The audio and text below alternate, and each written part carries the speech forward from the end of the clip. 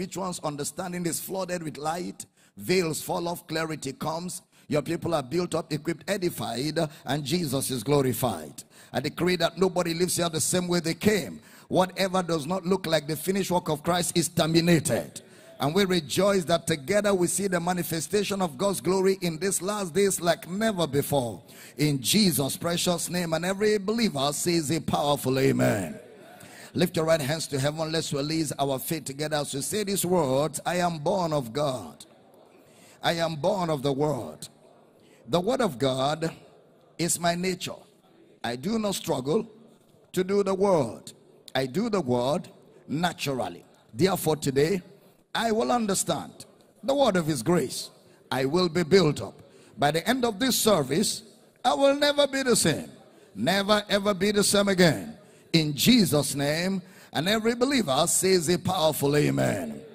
We want to welcome everybody connected to this service by way of Kingdom Life Network, Facebook, YouTube, Twitter, Instagram, all of our social media community, brothers and sisters online. We're so glad to have all of you in the service again today. We also want to welcome the Akwa Ibom State community connected to the service by way of Comfort FM, XL FM, Radio Akwa Ibom, Passion FM, Inspiration FM, and Heritage FM. We're so glad to welcome all of you friends and brothers and sisters.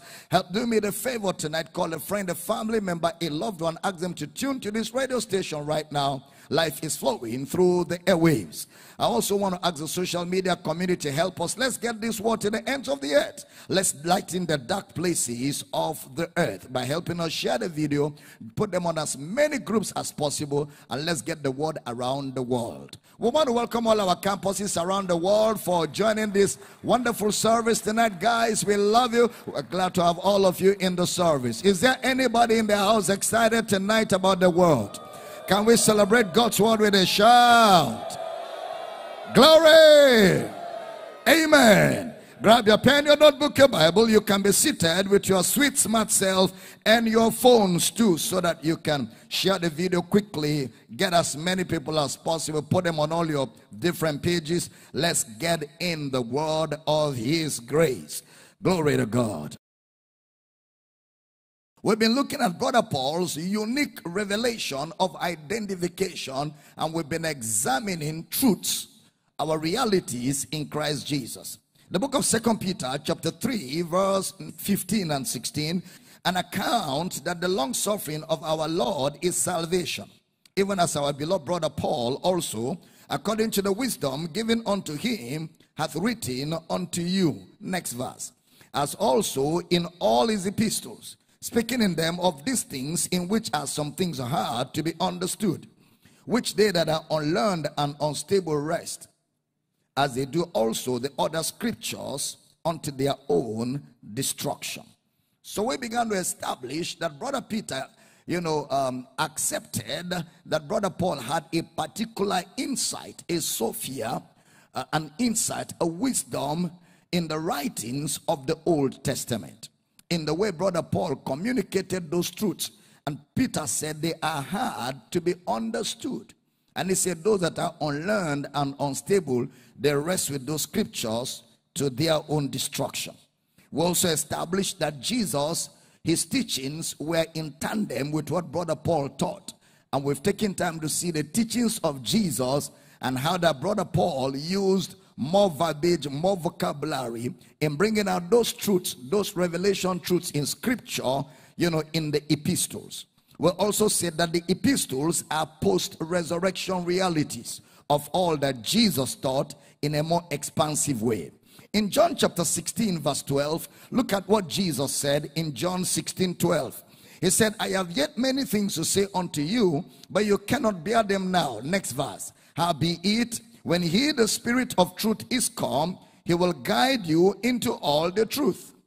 For he shall not speak of himself, but whatsoever you shall hear, that shall you speak, and he will show you things to come.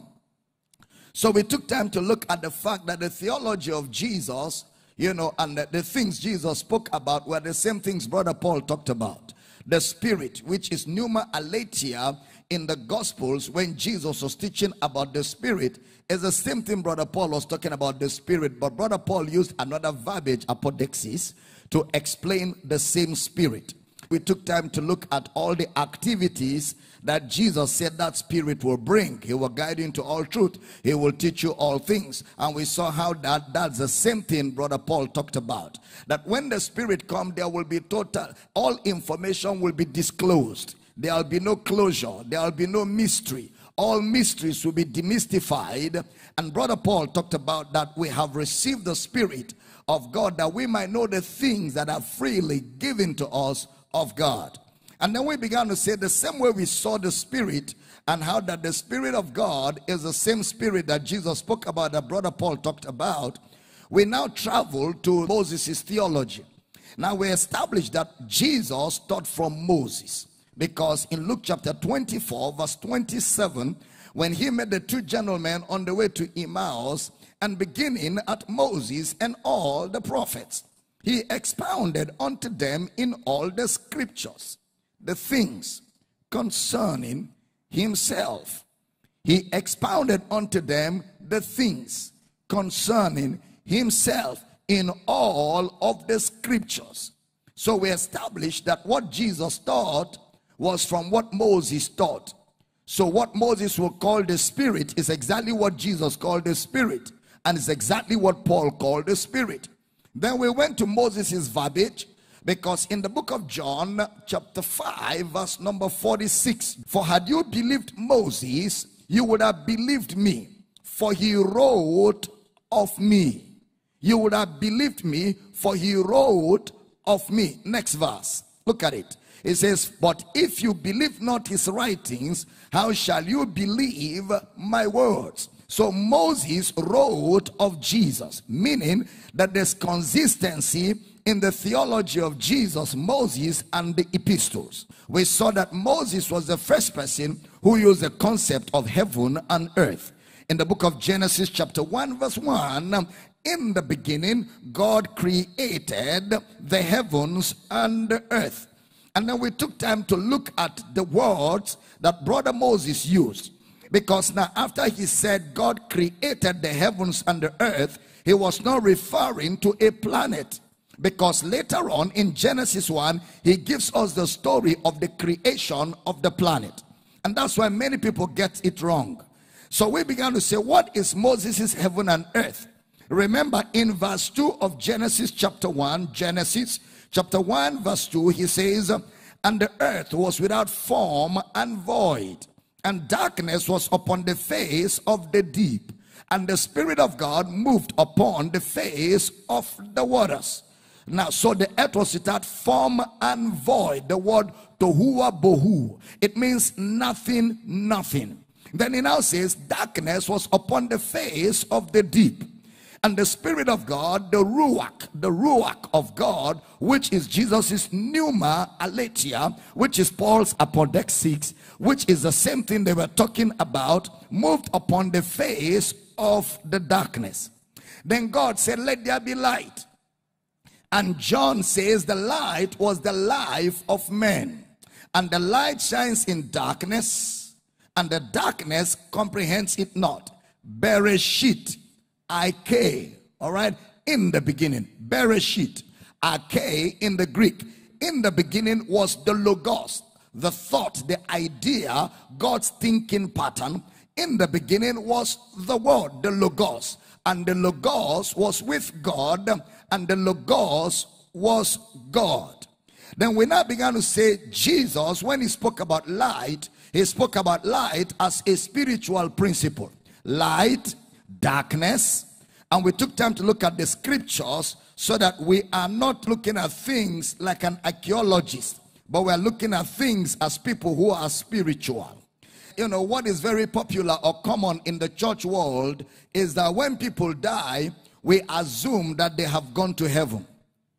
The impression they give is like heaven is some enlarged mortuary where dead people are assembled. But that's not the truth because there's no teaching in the Bible that says people go to heaven when they die. And we've been looking at all of this on heaven. And we saw that Jesus said, I give you the keys of the kingdom of heaven. And when he was saying that, he was saying that to a man that was on earth. we also saw that Jesus said, Whatever you on earth bound on earth shall be bound in heaven, and whatever you lose on earth shall be loose in heaven. Then we took time to look at other things because we said the kingdom is the word basileia, which means the reign or the rule. So, kingdom is not a place, kingdom is the reign or the rule of God in the hearts of men. Now, we also said light and darkness is in the hearts of men because we took time to look at a lot of scriptures, and I will advise you if you are not here, get all the materials we have taught up until now. Acts 7:55 talking about Stephen, his own account of heaven. But he being full of the Holy Ghost looked up steadfastly into heaven. He is on earth but he looks up steadfastly into heaven and saw the glory of God and Jesus standing on the right hand of God. He saw the glory.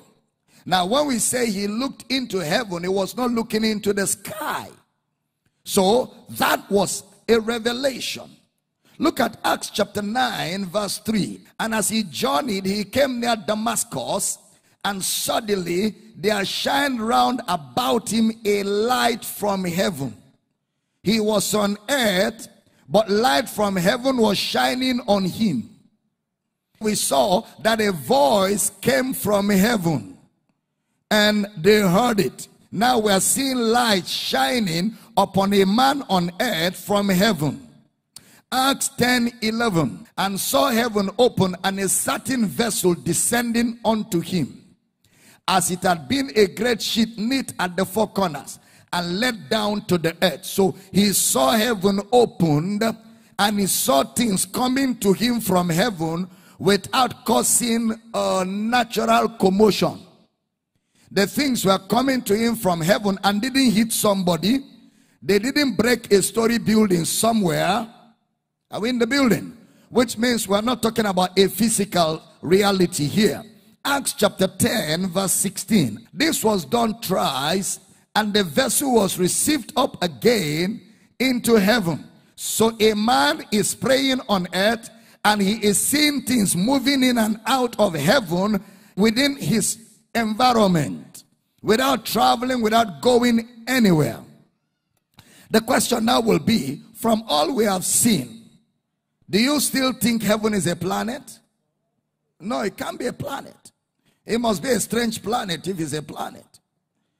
That means that planet then must be right here on earth. Because everyone we read had encounters with heaven right here on earth. They didn't have to die. Paul uses the term heaven 20 times. 20 times. Don't forget, we said in the four gospels, it is used 141 times. Don't also forget that we said Jesus used it 113 times. And Brother Paul used it 20 times. Fewer than the book of Acts. Now, anytime you see Paul use a word, it's either he doesn't use it at all, or he uses it less frequently than others, or he must have replaced the word. It's either he uses it less than others, or he doesn't use it at all, or he has replaced the word like apodeixis, which replaced pneuma aletheia, all right, with something in his inside. So he must have replaced it. That means, just like Peter said, Paul had a Sophia, an insight from God, with which he explained the same things in much more clarity. Now, the book of Hebrews has heaven five times. Hebrews chapter 9, verse 24, about the death of Jesus and what he did with his blood. For Christ is not entered into the holy places made with hands, which are the figures of the true, but into heaven itself, now to appear in the presence of God for us.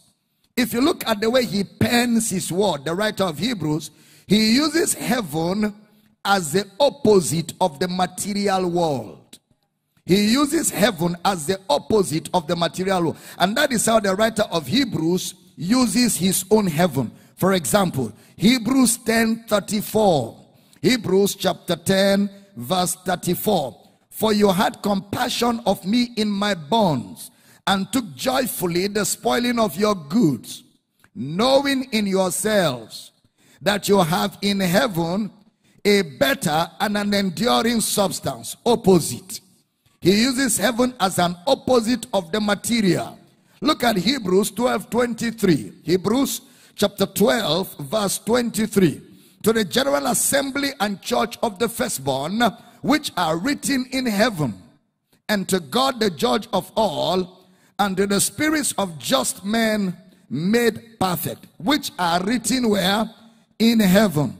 Look at that Hebrews 12, 25 to 26. Hebrews 12, 25 to 26. See that you refuse not him that speaketh. For if they escape not who refuse him that spoke on earth, much more shall not we escape if we turn away from him that speaketh from heaven. Next verse. Whose voice then shook the earth. So he spoke from heaven, and his voice shook the earth. This can be natural. Are you following? This can be natural. But now he has promised, saying yet once more, I shake not the earth only, but also heaven. Again, what is done in heaven is seen on earth. What is done in heaven, the impact is felt on earth. Which means heaven and earth, from the writer of Hebrews, are together. James uses the word heaven twice. You can write down for further study James 5:12 and James 5:18. Now, it's interesting here because heaven here is an atmosphere. James was talking about the atmospheric heavens. He is also not asking you to swear by heaven, the atmosphere where we get rain. Let's look at it. James 5:12. James 5:12. But above all things, my brethren, swear not neither by heaven, neither by the earth, neither by any other oath. But let your yea be yea and your nay be nay, lest you fall into condemnation. The heaven is talking about here is the atmospheric heaven, like people do. Uh, uh, uh, uh. Okay? That's swearing by heaven. All right? Why are you laughing? you used to do it, eh? All right, James 5 18. James chapter 5, verse 18. And he prayed again, and the heaven gave rain, and the earth brought forth her fruit. Which heaven gave rain? Atmospheric heaven, all right? Just like I said, if Jesus was going to come in the clouds and there is and the clouds decide to rain, that means Jesus will fall down. Isn't it? Because when, when the clouds gather and, and they start raining, they, they evaporate. Abby? They evaporate. The clouds disappear. If the clouds, the Bible says you shall see him come in the clouds, it's natural clouds. And by any chance rain falls that day of his coming, then it means Jesus will fall down. We may have to use a ladder to bring him down in a hurry before the rains begin. All right? So keep that somewhere. keep that somewhere. Heaven, therefore, will be used for what is above the earth, yet in the earth. Just like you have the physical heaven, heaven and earth. Heaven is above the earth, yet in the earth. Physical. So the same thing. The reality called heaven is above the earth, but is in the earth.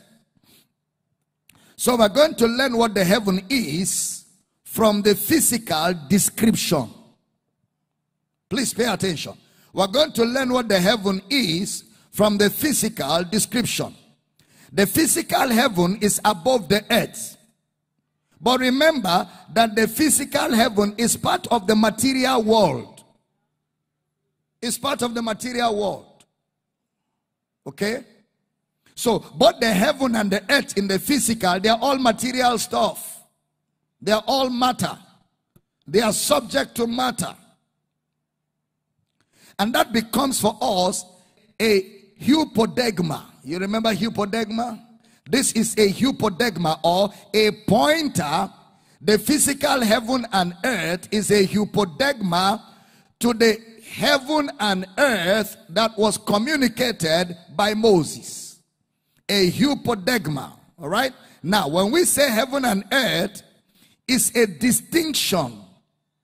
Yet, the heaven we are referring to is the atmosphere of the earth. The atmosphere of the earth. So that way, we will understand heaven and earth when we are talking about man. So the way it's used in its geographical way will give us an idea how it is used referring to man. The way it is used in geography. Earth, the ground, heaven, the atmosphere that leads into the outer space. Yet, the heavens and the earth are somewhat together because from the earth you can look up and see the atmosphere into the clouds. In fact, when the skies are clear, you can see into the stars. In fact, sometimes you can see shooting stars. Is that true? You can see shooting stars.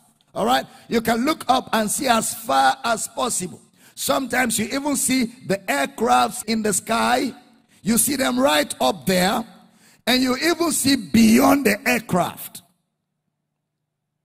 Because heaven and earth are together. They are together in the sense that heaven is above the earth. And from the earth, you can look into heaven. Are you here? From the earth, you can look into heaven. Now, remember, we're not doing geography here. But we're using little bits of the physical as a hypodeigma to communicate spiritual reality as always it is with Jesus' parables and sometimes with Moses' teachings and even sometimes with Brother Paul. When he will say, I could not speak unto you as unto spiritual, but as unto carnal, then he will use natural things to communicate spiritual realities. Now, stay with me. So, Look at Peter using the word heaven about four times. First Peter 1 4 to an inheritance incorruptible and undefiled that fadeth not away, reserved where? In heaven for you. So, are you watching? The inheritance is reserved in heaven for you. But what kind of inheritance? Incorruptible, undefiled, that fadeth not away, meaning it is not matter. It is not matter. And it is reserved in heaven. So that heaven also must be a heaven that is not matter. Only immaterial heaven can carry immaterial realities. You can't say an inheritance, incorruptible, undefiled, and faded not away, reserved for you in the atmosphere. No, if it is heaven, then the heaven Peter is talking about must be an immaterial reality that is carrying immaterial realities. First Peter chapter 1 verse 12. Unto whom it was revealed and not unto themselves but unto us they did minister the things which are now reported unto you by them that have preached the gospel unto you with the Holy Ghost sent down from heaven which things the angels desire to look into the gospel sent down from heaven. First Peter chapter 3 verse 22. First Peter. Who is gone into heaven and is on the right hand of God, angels and authorities and powers being made subject unto him. Talking about Jesus. And these angels are here. The angels are here and they are made subject to Jesus in heaven. The angels are here and they are made subject to Jesus in heaven. Second Peter 1:18. And this voice which came from heaven we heard when we were with him in the holy mount. They heard the voice that came from heaven on earth all right? So let's quickly think just like the atmospheric heaven is right in the earth. The atmospheric heaven is right in the earth, yet separate and distinct. The atmospheric heaven is right in the earth, yet it is separate and distinct. Why? Because it is higher than the earth. And the earth is the material base of the atmospheric heaven. Is higher. And yet it seems like it's the one that controls the weather. As it were, the atmosphere in the earth. That's how it is said in the natural. And this will help our understanding. Now let's look at the word heavens. And I'm going to use King James Version again just for the purpose. Mm, let me use the word heavens. Okay? You'll find it in the Old Testament 120 times. The word heavens as plural.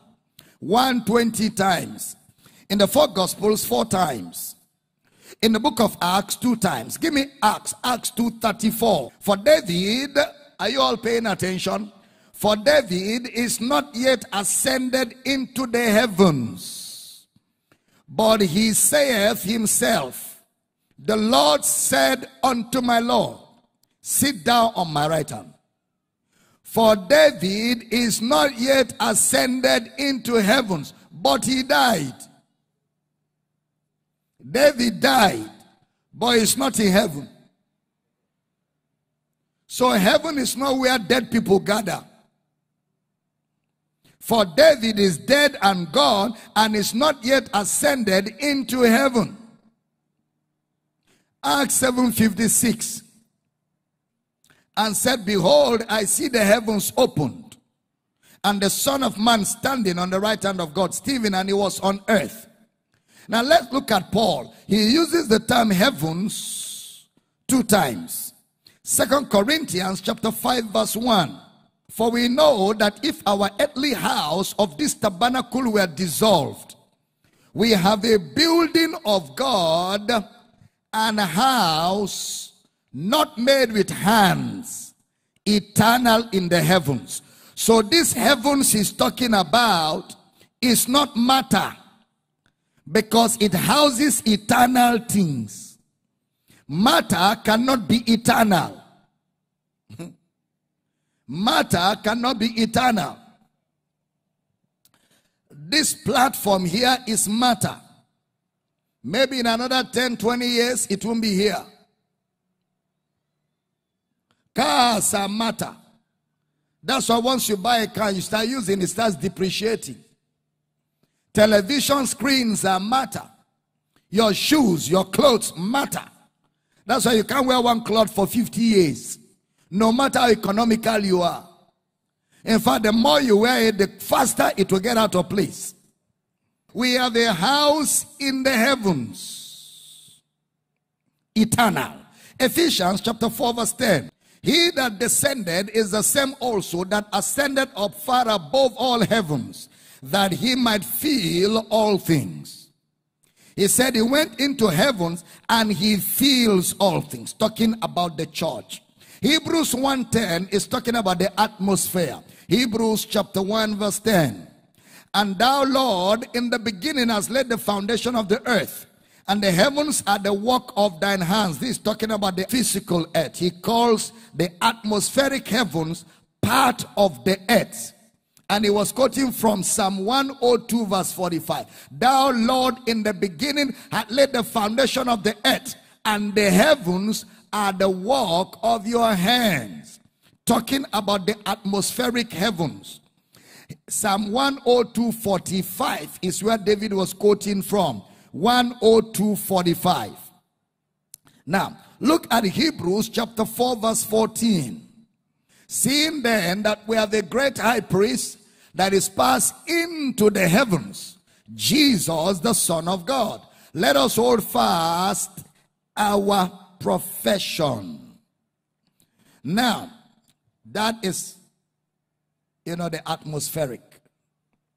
Yet he uses it for the atmospheric heavens in Hebrews 1:10 and Hebrews 4:14. Look at Hebrews 7:26. For such an high priest became us who is holy, harmless, undefiled, separate from sinners, and made higher than the heavens. Spiritual. Hebrews 9:23 talking about the heart of man and he says things in heaven. It was therefore necessary that the patterns of things in the heavens, he's talking about the heart of man, should be purified with this. Because the purification is the heart of man. But the heavenly things themselves with better sacrifices than these. Then you can read this at home. Second Peter chapter 3, verse 5. Second Peter chapter 3, verse 5. Second Peter chapter 3, verse 5, 7, 10. Chapter 3, verse 5, 7, 10, 12, 13. Second Peter chapter 3, 5, 7, 10, 12, 13. Now, the challenge we have with the word heaven is that whilst is the same word used for the atmospheric heavens, which is always a part of the earth, it is also used for a spiritual principle, which is also a part of the earth.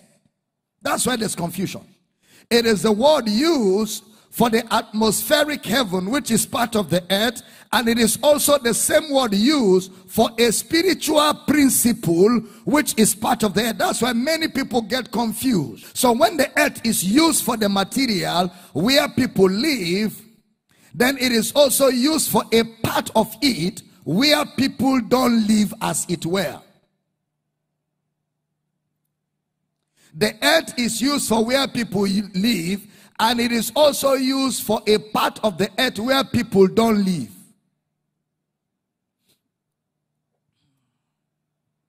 The skies, the atmospheric heavens. You know, with all of the technology, people like Elon Musk want to go and live in Mars. They've done their visit to Mars and they are thinking of many things because the challenges are much. They are thinking of, okay, how are we going to have agriculture? How are we going to plant things in Mars? It's true that the earth there in Mars look like the earth on the ground, but it does not have the same composition. So they are thinking scientifically, what do we do? Because God never created for man to live outside space. Man was to live on earth and he made the earth habitable. Are we in the building? Now, so that will let us see how man is also referred to in heaven and in the earth in the same place. So let's look at the word heaven in the Hebrew. The word heaven is the word shamayims. Shamayims. Shamayim. S H A M A Y I M. Shamayim. Of course, when you talk to the Hebrew man and you say heaven, he looks up. Shamayims. Because Shamayim is from the word Shane. Shane. S H A N E H. Shamayims is from the word Shane. It means high, lofty. The word Shane means away from here and sometimes invisible. Away from what you can see, heaven, Shamayims. So that means the term heaven is descriptive. The term heaven is descriptive. It definitely will have to be used in context it will have to be used in context. That's key. Now, do not ever get to the risk. Listen, everybody. If you were writing, finish and look up. All right. Don't ever get to the risk of saying heaven is not a place. And you say it authoritatively and totally without explaining properly what you mean. Did you hear what I just said? Don't ever get it, fall into that trap of saying heaven is not a place authoritatively and conclusively without taking the time to explain it is explanation that will make people arrive at the understanding because if heaven is not a place and christ is there then that doesn't make sense. If Christ is a definite person and he is somewhere, then it must be a place. Huh? Are you following? So you must use your words rightly. Question Is heaven a place? Yes, it is, but not a place as some think. That's the way to answer. Yes, it is, but it's not a place as some people think. That's the way to answer it. So let's get back to Moses' writing now. Genesis 1 1. In the beginning, God created the heaven and the earth. And the earth. In the beginning, that is Moses' explanation of man in two worlds. Man in two worlds. The seen and the unseen. So man must always be viewed in two worlds. The seen and the unseen. And so now he typifies that by heaven and earth. Created in the same location so that you never think it is a distance as it were heaven and earth. Therefore, Moses uses heavens and earth as operations. He uses it as operations or principles of operations in the same place. He uses heaven and earth as operations or principles of operations in the same place. Please pay attention. Look at chapter 1, verse 2 of Genesis. And the earth was without form and void, and darkness was upon the face of the deep, and the Spirit of God moved upon the face of the waters. And God saw the light that it was good. And God divided the light from the darkness. Verse 5. And God called the light day, and the darkness he called night. And the evening and the morning were the first day. These are spiritual terms. Then the next thing is he talks about the waters. Look at verse 8 to 10 of Genesis 1. And God called the firmament heaven. And the evening and the morning were the second day. And God said, let the waters under the heaven be gathered together unto one place, and let the dry land appear. And it was so. Are you watching Moses' intelligence? Next verse. And God called the dry land earth.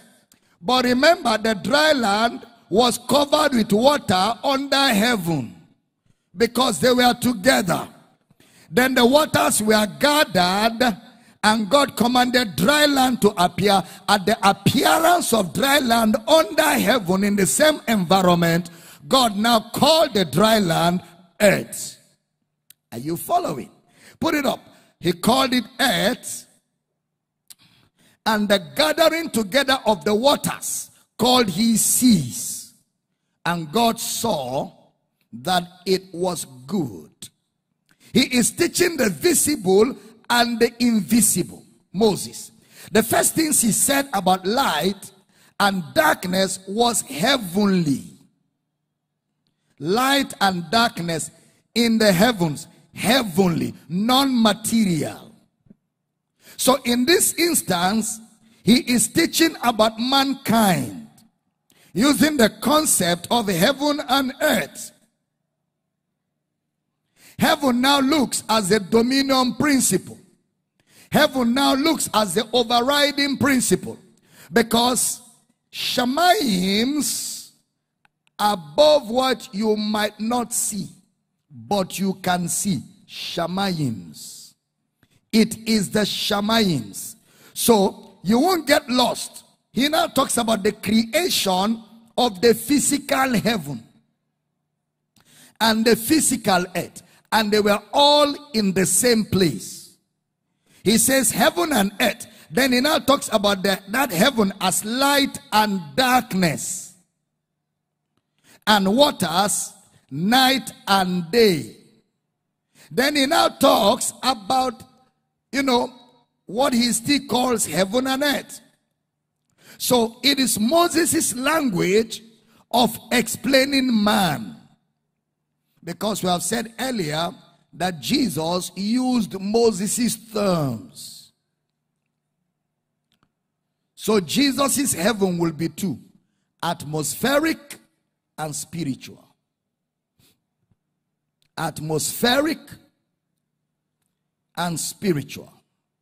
Jesus' earth will also be about man. Atmospheric and man's actions.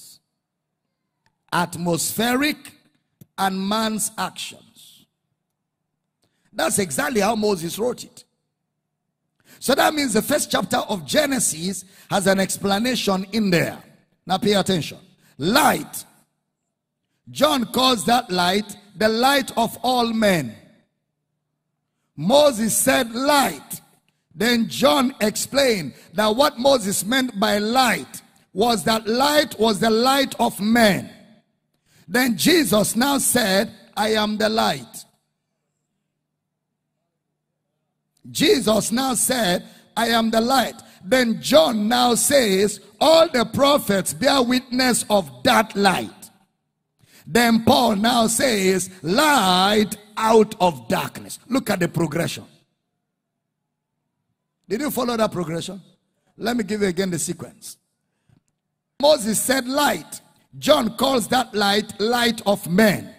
Then Jesus said that light of men that John is talking about, I am the light. Then John now says all the prophets from the beginning of time till himself bore witness of that light. Then Paul in the epistles now says, God commanded the light to shine out of darkness by shining in our hearts. By shining in our hearts. So Moses wrote salvation. And he wrote that heaven as it were, as the heart of a man where there can be darkness and there can be light. And that heart of man, where there is darkness and light, is right here on earth. Glory. Are you still here? Genesis chapter 2, verse 1. Thus the heavens and the earth were finished and all the host of them. The word host there is a Hebrew term used for an army, most likely angels. So he says the heavens and earth. Look at that Genesis chapter 2 verse 1 to 3. Let me read a bit of it. Thus the heavens and the earth were finished and all the host of them. Next verse. And on the seventh day God ended his work which he had made. And he rested on the seventh day from all his work which he had made. 3. And God blessed the seventh day and sanctified it because that in it he had rested from all his work which God created and made. Moses wrote this at a time when man needed salvation. Listen, everybody. Genesis was Moses' teaching ministry to the children of Israel in need of an exodus. They were in bondage. And Moses was telling them of God's plan to take them out of bondage to a promised land. So Genesis is God's promise of an exodus. Genesis is God's promise of an exodus. So Moses wrote it at a time when man needed salvation. Moses was not writing a step by step account of what he was seeing. Moses was using creation to explain salvation. He was using creation to explain salvation. What God finished in heaven and earth will be the people of God. What God finished. You understand? Those who have entered into his rest. He called them in the seventh day. He called them in the seventh day. Then the writer of Hebrews expanded the verbiage. He said, It's not a Sunday. The writer of Hebrews says, That day of rest is the day of the believing ones.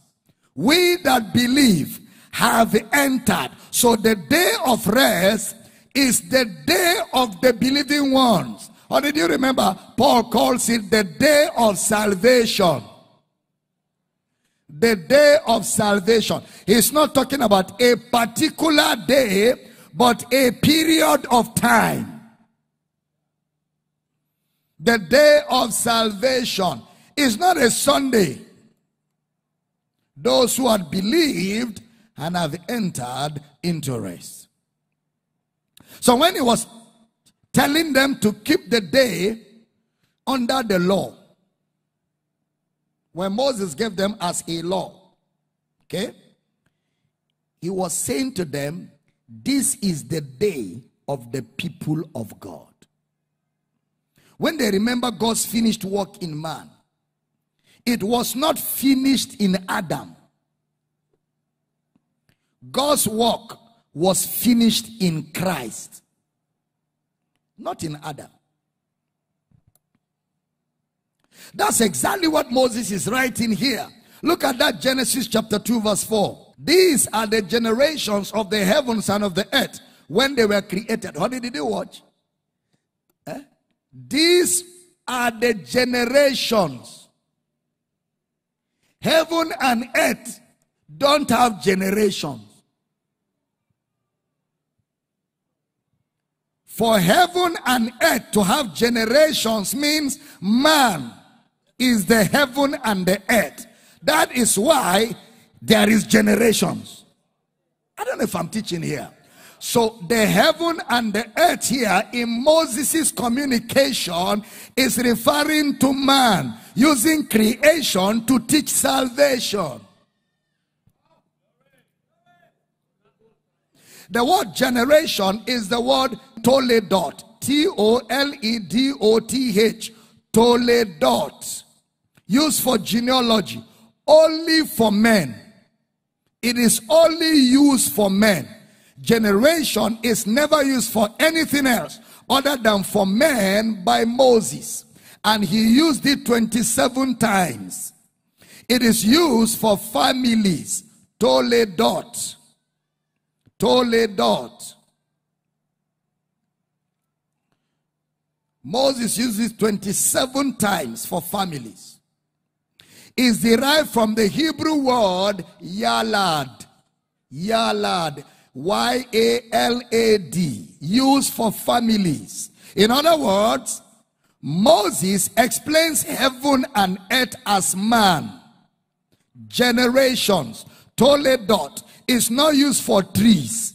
It's used for men. So therefore, Moses uses man on two planes in the natural and in the supernatural. That is the term heaven and earth. The visible and the invisible. Where does the light shine? Or where does light shine? Light shines in the invisible. That's the light of salvation. That's the light of Genesis 1, 2, and 3. That's the heaven and the earth. And both heaven and earth are not miles apart. They are just explanations of different ways by which man functions earthly, heavenly, supernatural, natural. Earthly, heavenly, supernatural, natural. So therefore, by using the word shamayims from the word shane, it means that Moses started by saying that the control room in the earth is not visible is invisible. And he uses shamayims to explain it. Shamayims.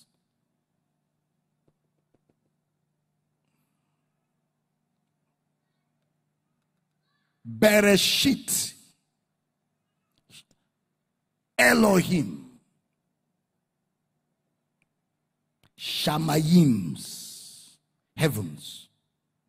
That what we see doesn't come from what we see. That what we see comes from what we don't see. Just like you look into the heavens, you can't see. So he now uses that to typify operations in man that can't be seen. What we see, what we don't see. Look at this. We see a physical man, but the authority that that man releases is unseen. The control room of a man is not seen with the eye. You know, there's a movie I watched. You know, one, one short boy, very short. Very short. His friend went and looked for trouble. Very tall guy. So they beat his friend. Then his friend said, I will go and bring my master. Since you beat me, you are in big trouble. I will go and bring my master. So he went and brought this short boy. The boy reached him here. The one they beat. He's the master of the beaten one. Reached the beaten one here. So they are coming as if he's coming with Junior. So the person that beat him looked at him and said, Did you go to bring your grandchild to come and fight me? So he insulted him. so the little boy said, Is it me you're talking to like that? Is it me you're talking to like that? The man said, If I slap you, they will not find the pieces of your body. Me? He said, Yes. He said, Ah, I will finish you. So the big guy that beat up the other guy now came to this small guy in an attempt to slap him. The boy just did him. He went up the sky and hit the floor. Duma. The little boy came and put his leg on him and said, Next time, don't you try. He told the other guy, Let's go. The control room of the short man is not visible. He's operating from a heaven. Now that's just a that's just a low level illustration I'm trying to use. But what I'm saying is, how many of you remember that heaven is a control room in the earth? You remember that? So, heaven, therefore, will be the control room where things are controlled. What you can call the Genesis principle. There is a Genesis principle. That is how it happened. And this is why Paul will now say things like Ephesians chapter 2 verse 1 to 3. You are quickened who were dead in trespasses and sins. Next verse. Wherein in time past you walked according to the course of this world, according to the prince of the power of the air, the spirit that now walketh in the children of disobedience, the prince of the power of the air. The spirit that now walketh. So he's the prince of the power of the air. Or what Paul is saying is that the prince of the power of the pneuma is the spirit that worketh. So there's a spirit at work. There's an immaterial reality. There's a principle at work in the man in darkness. Just like there is the spirit at work in the believer in the light. The spirit of adoption. Let me not be in a hurry.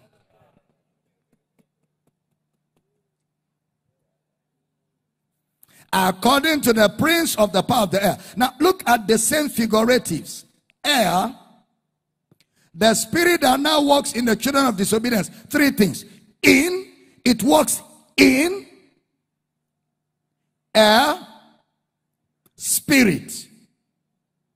Figuratives in a spirit. Then, chapter 6, verse 12 of Ephesians, we wrestle not against flesh and blood, but against principalities, against powers, against the rulers of the darkness of this world, against spiritual wickedness in high world, rulers of darkness of this world. They rule darkness. Darkness where? In the heart of a man that is not born again. And the man is where? In this world. Wickedness in the heavenlies. Did you observe? He talks about darkness of this world, then wickedness in high. And the heavenly is referring to his where? Huh? Huh? Against spiritual wickedness in high places. Where is the high places? In man. Wickedness is in man. The wickedness he's referring to here when he talks about high or heavenlies is in man. Just like Jesus when he said the heavens were opened. It means the invisible operations in the earth was opened. And those invisible operations on the earth are where? In man. The weather in the atmosphere physically controls what happens on earth. The heavenlies in man controls what happens in that man physically. Is it getting clear? Is it getting clear? Because heaven and earth are in the same place. So when you see heaven or when you say heaven, it's a shorthand for mankind. Because that is his sphere of authority. Look at Deuteronomy chapter 30, verse 10. If thou shalt hearken, I love Moses. Look at the way he will coin this thing. If thou shalt hearken unto the voice of the Lord thy God to keep his commandments and his statutes, which are written in this book of the law, and if thou turn unto the Lord thy God with all thine heart and with all thine soul, next verse, for this commandment which I commanded this day, it is not hidden from thee, neither is it far off. Next verse. It is not in heaven that thou shouldest say, Who shall go up for us to heaven and bring it unto us that we may hear it and do it? Next verse. Neither is it beyond the sea that thou shouldest say, Who shall go over the sea for us and bring it unto us that we may hear it and do it? Verse 14. But the word is very nigh unto thee. So nigh that is in your mouth and is in your heart that thou mayest do it. Are we getting clearer? You know, Moses is such a huge player with words. He's a wordsmith, man. Moses is a wordsmith. Now, he uses heaven and earth to explain heaven and earth to man. Look at verse 15. Same Deuteronomy 30. See, I have set before thee this day life and good, death and evil. You didn't see that? Life and good, death and evil. Look at verse 19, same chapter, 19. I call heaven and earth to record this day against you that I have set before you life and death, blessing and cursing. Therefore, choose life, that both thou and thy seed may live. Choose life. Is the same man who talked about the tree of life. Choose life. Question Who is in heaven and earth? Man. So he now says, I say this to you today.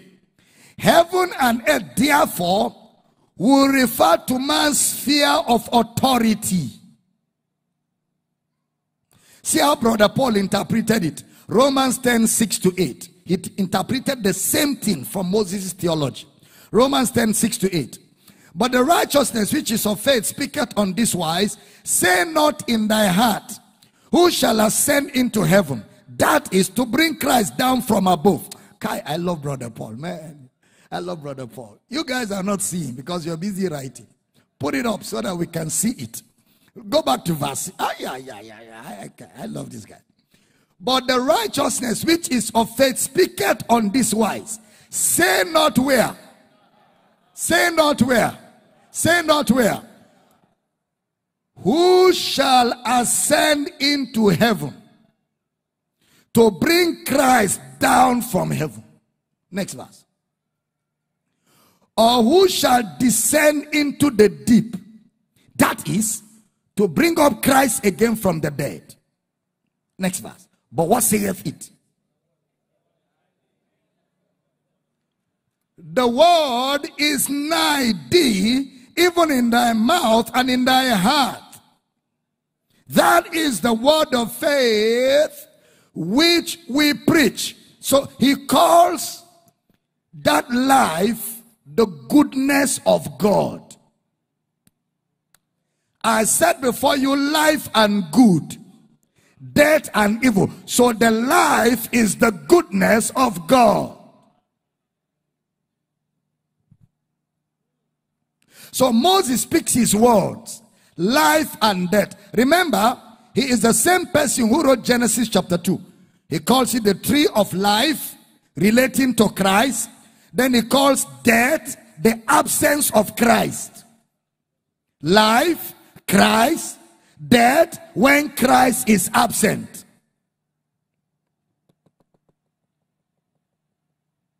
Because he, he wrote the two texts, you know.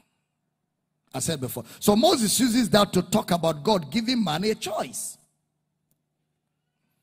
And he had to write that because he was talking to a Jewish audience that had the law in their minds. But Paul wrote same thing in this way.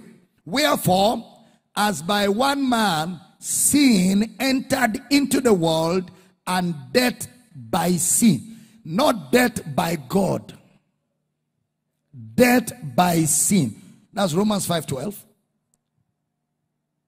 so one man sin entered he didn't say god gave man a choice he said god gave man life god didn't give you a choice God gave you life. You rejecting the life God gave. When God's life is rejected by you, what comes as an absence of that God's life, what you have created by yourself, by rejecting the life of God, is death. So death is not a creation of God, Rather, death is the absence of God. God gave only life. God never gave you two things. He gave you just life. So, because God gave only life, man rejecting God's life created man's choice. Man rejecting God's life created man's choice. So God's justice and judgment is not God saying, if you get this, fine. If you don't, I will do this to you. No. God's judgment is to discern for you the implication of what you will do. We can say it very well like, man therefore was not saved from God's wrath because there is no wrath in God. Man was saved from man's wrath. Man was saved from a self destruct button. God gives life holy life. So Moses' tree of life, the tree of the knowledge of good and evil, is Moses' verbiage. And Jesus refined it for us. Because he's not talking to men who are unbelieving in their hearts. For God so loved the world that he gave his only begotten son, John 3 16, that whosoever believeth in him should not perish, but have what? Next verse. God, verse 17, for God sent not his son into the world to condemn the world, but that the world through him might be saved. Next verse. Glory to God. He that believeth on him is not condemned, but he that believeth not, the absence of God is condemnation. He's condemned because he did not believe. He doesn't mention God in the unbelief. He mentions God in the absence. You did not believe, so God left. The absence of God is where condemnation and darkness came. So Jesus refines that for us. He doesn't attack Moses, he only explains Moses' teachings to us. And this became Brother Paul's Ouranios. That's the word heaven in the Greek, or epouranios, things of heaven. So in Christ's explanation, therefore, he gives clarity to the word spoken before him.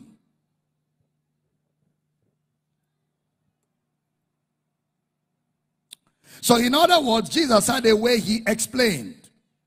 His heaven is God's heaven. His heaven is what Moses was passing across because Moses oftentimes used heaven materially to explain heaven immaterially. I'm almost done. Jesus didn't teach that. Jesus talked with the heaven in the material to explain the kingdom or the authority of the invisible in the visible. Whatever things you bind on earth shall be bound in heaven. Whatever things you lose on earth shall be loosed in heaven. Because that's where you are. So since you're on earth, you operate heaven and earth from earth.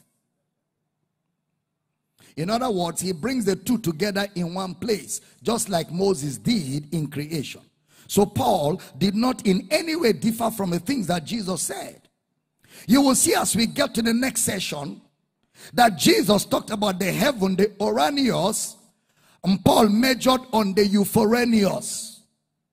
Jesus stayed with heaven, Paul stayed with the things that are there. And they were all within the earth sphere. Listen carefully. The reason for the heavens is the earth. The reason for the heavens is the earth. The reason for the earth is man. The reason for man is fellowship. The reason for the heavens is the earth. The reason for the earth is man. The reason for man is fellowship with God. E.W. Kenyon made that clear. So, Brother Paul never differed from what Jesus taught. And Jesus never differed from what Moses taught.